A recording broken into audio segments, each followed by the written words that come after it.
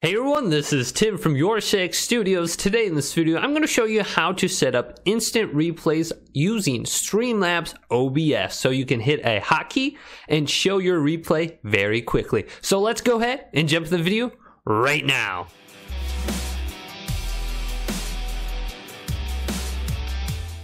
So that is right, using a hotkey on your keyboard or a stream deck, you can go ahead and display your replay very quickly.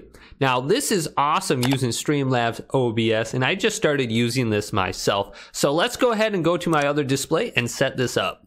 So the first thing that we want to go ahead and do is create a new scene and select instant replay. So let's go to the plus icon right here and add a new scene. And let's call this instant replay.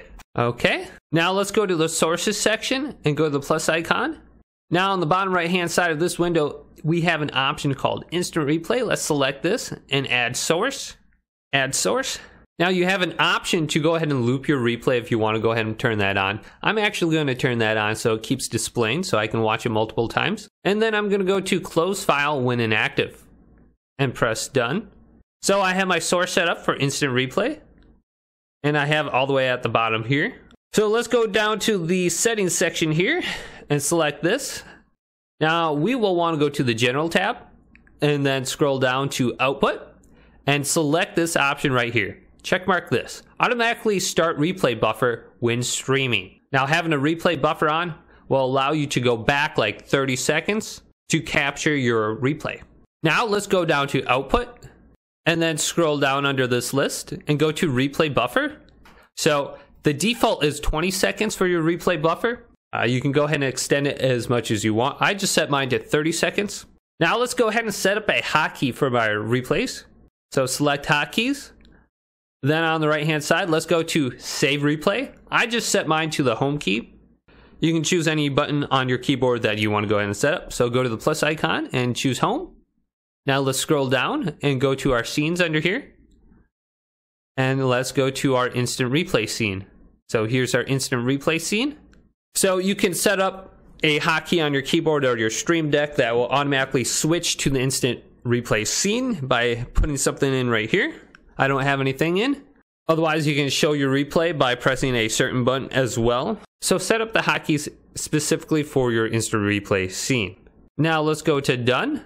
So when you're not streaming now and you want to go ahead and do instant replays, on the bottom right hand side of the screen, there is a little arrow that goes in a circle and it says start replay buffer. So if we want to go ahead and capture replays when we're not streaming, we will have to press this button. It will show that it's like recording down here and you have an option to save your replay or press the hotkey under save replay. So mine was the home key. I press the home key at any point in time. Now I'll be able to save that replay. So let's go ahead and save a replay now. I'm going to turn on my PlayStation 4 and then go to my capture card. So I'm going to log into my PlayStation 4 and capture about 30 seconds of gameplay here, just moving around on the screen.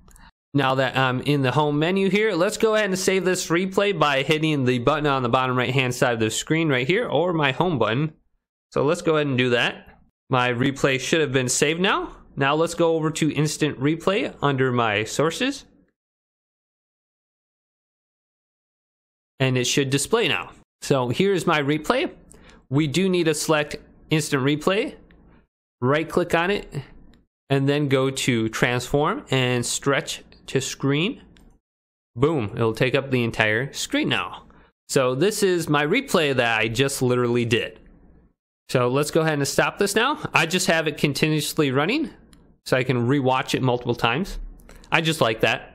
So setting up instant replays is very, very easy and it's really cool to go back and watch your gameplay clips when you're not streaming sometimes as well. If this video did indeed help you guys out, go ahead and leave a thumbs up and subscribe to my channel down below for more tech help tips coming up next on Your Six Studios.